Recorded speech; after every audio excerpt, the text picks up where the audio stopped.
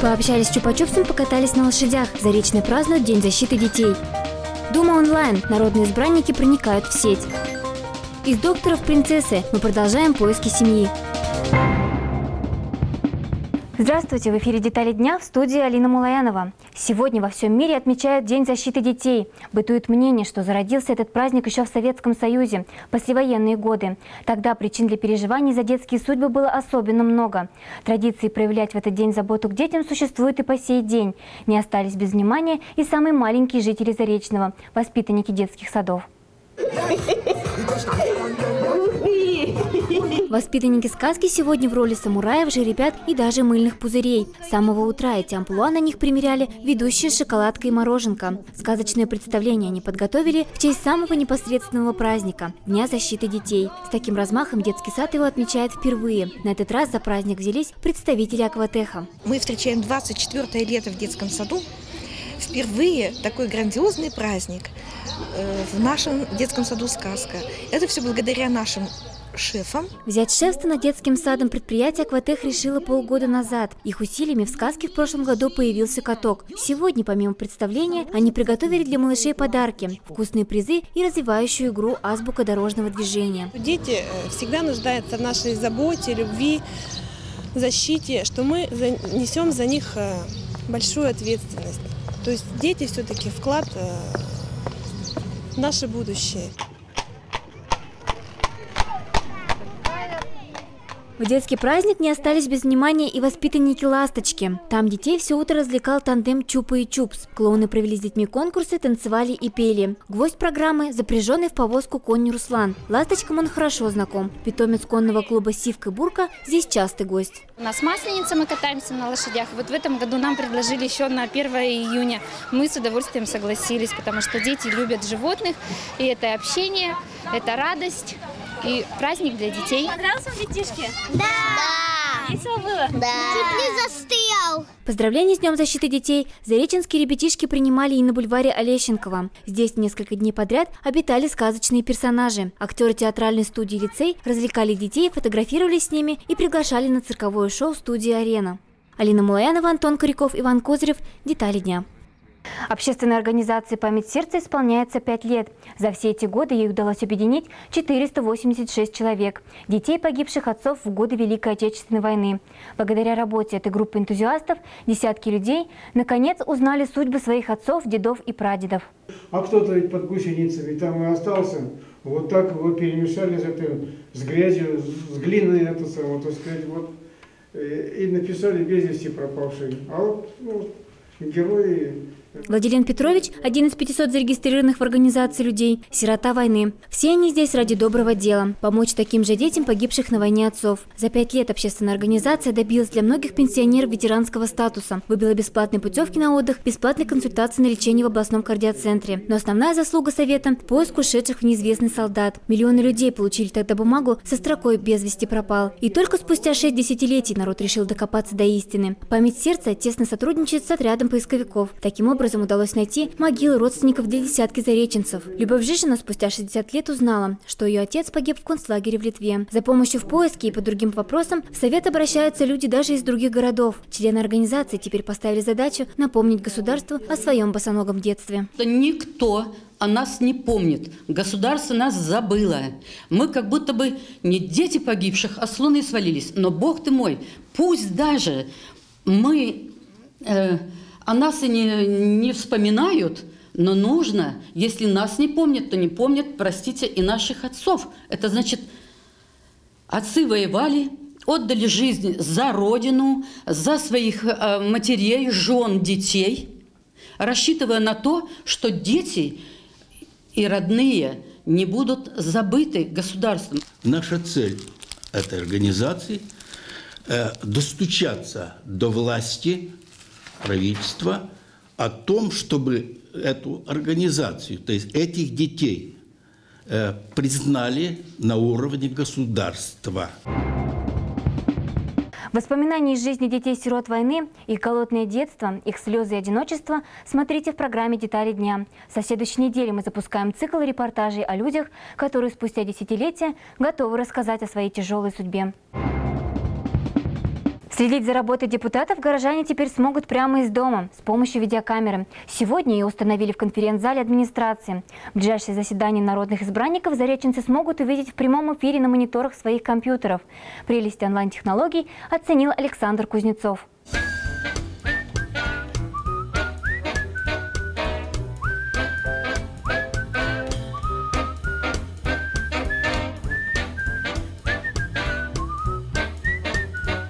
Неожиданное решение, личное мнение, высказывания и даже жесты депутатов станут достоянием общественности. Все детали, которые раньше были доступны только журналистам и гостям Думы, теперь сможет увидеть каждый желающий прямо здесь, на экране своего компьютера, в режиме реального времени. С инициативой вести прямые трансляции заседания Думы выступил городской телецентр. Прежде всего для того, чтобы дать возможность жителям города познакомиться с новыми депутатами и изучить их работу. Самые главные вопросы жизни Заречного решаются именно на Думе Думе, подчеркнул директор телецентра Александр Воробьев. А потому жители должны видеть и знать, как и кем они решаются. Важно, что именно в режиме прямого эфира, потому что а, из прямого эфира нельзя ничего вырезать, ничего нельзя добавить, э, нельзя как-то интерпретировать это.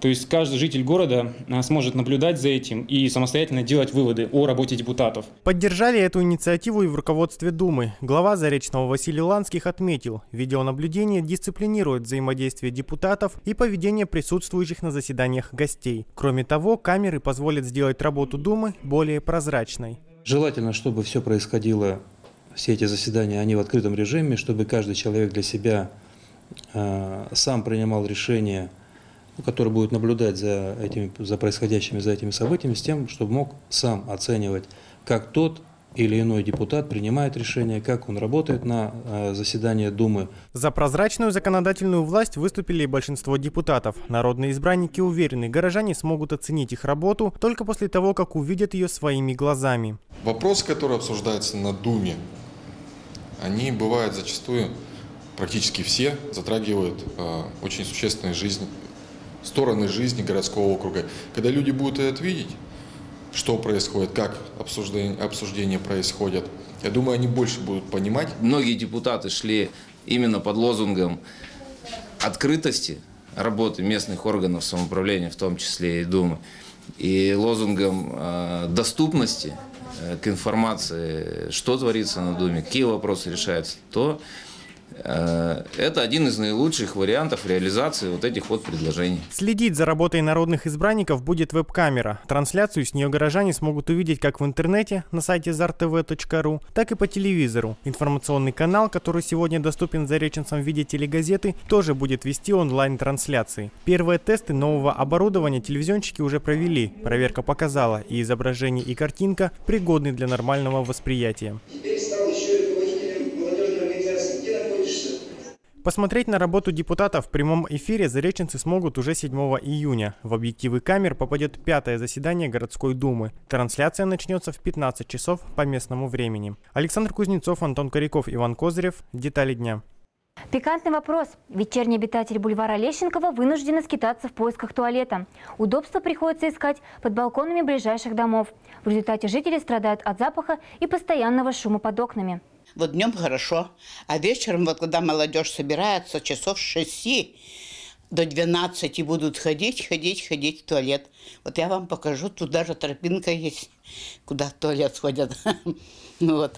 И никакое замечание, не сделаешь замечание, значит, все, тебе тут же снимают свои штаны, как по-русски сказать, и показывают Тропинка действительно есть. По ней ходят целые компании, рассказывают местные жители. От глаз прохожих людей скрывают стены двух домов. Самые стеснительные спускаются справить нужду вот в этот подвальчик. Когда дверь была открыта, заходили прямо внутрь. Сейчас довольствуются ступеньками. Ходят сюда как молодые люди, так и взрослые. Некоторые даже предлагают деньги местным жителям за беспокойство. Говорят, просто нет выбора. Здесь самое удобное место. Жители этих домов грозятся обливать нарушителей порядка кипятком. Возможное решение этой проблемы пока еще обсуждается. Возможно, перспектива перспектива – строительство туалета в одном из расположенных рядом домов. Завтра, начиная с полудня, будет перекрыто движение транспорта через городскую площадь. Там будет проходить очередной велофестиваль «Поехали!». Это уже шестой ежегодный велофестиваль в Заречном. Регистрация участников начнется в 10 утра возле одного из торговых центров. В полдень состоится старт. Участники двинутся колонной от улицы Ленинградская в сторону городской площади. В час дня пройдут показательные выступления по велоэкстриму. Сразу после этого зареченцы смогут поучаствовать в спортивных конкурсах. И, конечно, прокатиться на экзотических самоделках, веловездеходе, велохарлее и бибикаре. Детали дня переходят на летнее время. Начиная с понедельника смотрите новости Заречного по вторникам и пятницам. А каждый четверг в эфире нашего канала «Детали года». Редакция «Заречный ТВ» предлагает вспомнить все, что радовало и огорчало нас. Самые горячие, шокирующие, печальные и незабываемые темы. Мы подобрали для вас самые интересные сюжеты, выходившие в эфир с сентября прошлого года и до настоящего времени. Смотрите «Детали года» каждый четверг в 19.30 на нашем канале. А самые актуальные и свежие события отныне будут выходить по вторникам и пятницам в программе «Детали дня». На очереди наша традиционная рубрика «Требуется семья». Сегодня мы расскажем об Оксане. 13-летняя девочка уже четвертый год живет в Зареченском детском доме. Заряжает позитивом и хорошим настроением весь коллектив. Ни один праздник, ни один семейный вечер не обходится без выступлений юной актрисы и ее светящейся улыбки. О талантах и мечтах наш специальный репортаж. Рисунки, вышивки, вязаные носочки – все это творение Оксаны. Ее творческому любопытству нет предела. Девочка попробовала себя в разных занятиях. Этот женский портрет – первая попытка вышивать. Девочка делится, много труда и терпения потребовалось, чтобы сделать цветы в руке. А вот над образом Иисуса Христа юная рукодельница трудится уже третий год. Теперь работы осталось на неделю. Я планирую эту работу отправить на городской конкурс, чтобы она заняла там первое место потому что там же редко, когда бывает вышивание. Там только вот выжигание, вязание, а вышивание там очень редко. И то вышивают как бы маленькие картинки. Наград у Оксаны уже целая стопка. Эти синие корочки хранят грамоты и дипломы за спортивные достижения, за успехи в учебе, за творчество и талант. Здесь же первые рисунки, открытки для друзей и начатые анимации к мультфильму про кота. Художественный талант девочка планирует применить и в будущей профессии. В детстве, очень давно, лет четыре, я хотела стать доктором. Очень любила медицину. А теперь, ну как бы, исчезла уже эта мечта. А, нет, к, э, к лет семи я хотела стать принцессой. Ну, ходить на балы там, чтобы у меня принц был. А теперь мечтаю быть дизайнером. Ну, просто, как бы, шить одежду на людей, и чтобы они как бы показывали эту одежду. Оксана четко видит свое будущее. Швейная мастерская, подиум, модели и море цветов после показа очередной коллекции. Пока будущий модельер обшивает своих кукол. В планах у девушки придумать наряд для себя. Воздушное какое-нибудь белое на лето, чтобы красиво было. Красивая улыбчивая Оксана, как называют ее воспитатели, в детском доме в качестве затейника. Она любит организовывать праздники, любит выступать, может и спеть, и станцевать. Оксана – душа компании, и в радости, и в горе поддержка. В детском доме ее лучшая подруга Аня. Они всегда везде вместе, навеки, утверждают девочки. Вот мы делаем тоже ну, работу вот на областную выставку. Вот мы тоже вместе делаем, коллективно. Ну, мы везде вообще, везде вместе хорошо учится в школе, самостоятельная, очень веселая, очень активная, любит всех организовывать, привлекает их к различным концертам, посещает кружки в Центре детского творчества. У нее все здорово получается. Тоже творческий человек. Многое доверяем ей, и она с этим очень хорошо справляется. Дружим, Единственное, чего не хватает сегодня Оксане – мамы с папой. Девочка мечтает радовать и удивлять их своими достижениями. И когда она станет настоящим дизайнером, в числе первых гостей показа видеть именно семью. Если у вас есть желание принять участие в жизни девочки, звоните по телефону 314 39. Екатерина Танких, Мария Морозова, Антон Коряков, Иван Козырев. Детали дня. В выходные в Заречный придут дожди. Подробный прогноз смотрите далее. Информация предоставлена порталом Гисметео.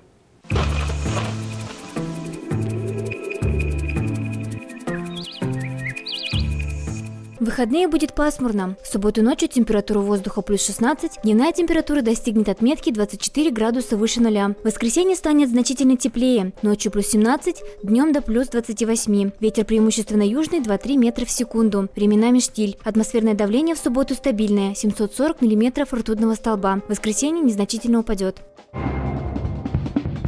Это все, о чем мы хотели рассказать вам сегодня. Далее смотрите проект «Карнавал Лайв».